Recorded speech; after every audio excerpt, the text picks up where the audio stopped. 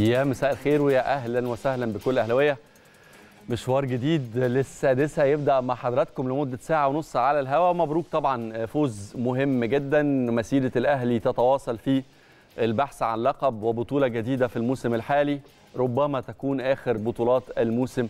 طبعا التي لم أو لن تستكمل. طبعا في مباراة امبارح فاز الأهلي وتخطى مرحلة وعقبة الداخلية وفي الطريق إلى مواجهة المصري تحت قيادة فنية جديدة مع كابتن علي ماهر مباراة يوم الخميس القادم. هنتكلم عن مشوار الأهلي في الكاس لكن عندي نقطتين مهمين أبدأ بيهم حلقة النهارده مع حضراتكم. واحد البطولة العربية اللي كانت فرصة نتعرف فيها على شكل الكرة الخليجية أو التطور اللي حصل على شكل الكرة الخارجيه الخليجية في الفترة الأخيرة وخصوصا الكرة السعودية اللي يعني طبعا شفنا موسم انتقالات تاريخي وشفنا أسماء كبيرة جدا بتيجي لأول مرة تلعب في المنطقة العربية. مش جديد على الأندية الخليجية والأندية القطرية والسعودية والإماراتية حتى إن هم يستقطبوا نجوم كبيرة أو نجوم كانت بتلعب في أوروبا.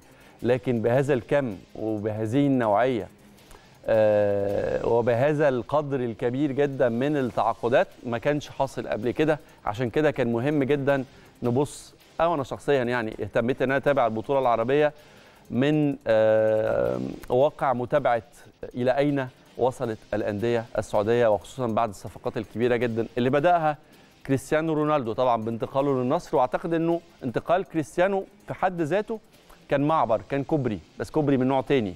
كان السبب الرئيسي في فتح الباب لنجوم كتيرة جدا من أوروبا زي مثلا كريم بنزيما زي روبرتو فيرمينيو زي ساديو ماني رغم إن الصفقة لم تتم حتى اللحظة بس في كلام كتير جدا إنه الصفقة في الرتوش الأخيرة زي نجولو كانتي زي كتير من النجوم اللي انتقلوا زي كوليبالي اللي شفناه امبارح مع الهلال السعودي وغيرهم غيرهم أسماء كتير يعني. وفي الطريق الحقيقة وطبعا رياض محرز نجم طبعا ليستر ونجم مان سيتي الفائز ببطولة دوري أبطال أوروبا والفائز ببطولة البريمير ليج. فأنت بتتكلم على أسماء من العيار التقيل.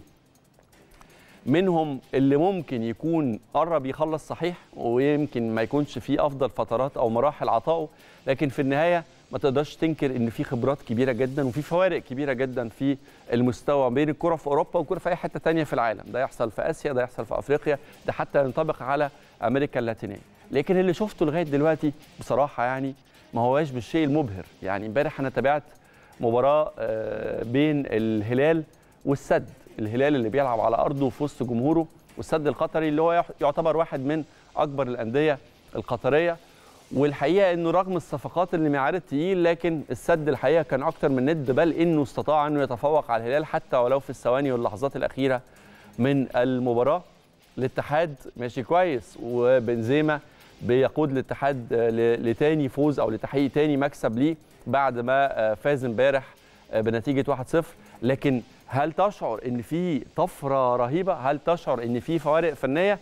في تقديري يعني إنه الاتحاد كان يقدر يعمل ده بدون بنزيما بوجود بنزيما أو بدون وجوده.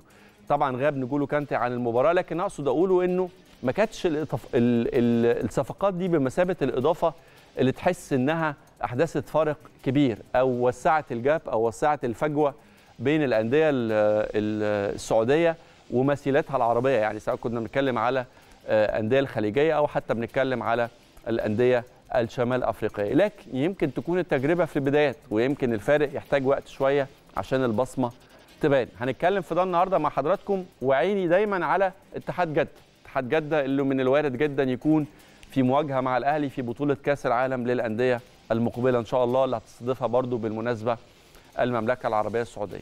الجزء الثاني الحقيقة هتكلم فيه عن بطولة مستحدثة بطولة تخصنا إحنا كمصريين وهي بطولة السوبر المصري في شكلها الجديد. قبل ما أدخل في تفاصيلها وأعرف حضراتكم نظامها ونتكلم أكتر في مين هيشارك في أو مين ليه الحق إن هو يشارك فيها حسب قواعد ونظام البطولة خلينا نروح لفاصل ونرجع نتابع أخبارنا ونروح تمرينة الأهلي ونستقبل ونستقبل ضيفنا النهارده كابتن عبد الله جلال في السادسة. فاصل ونرجع لحضراتكم.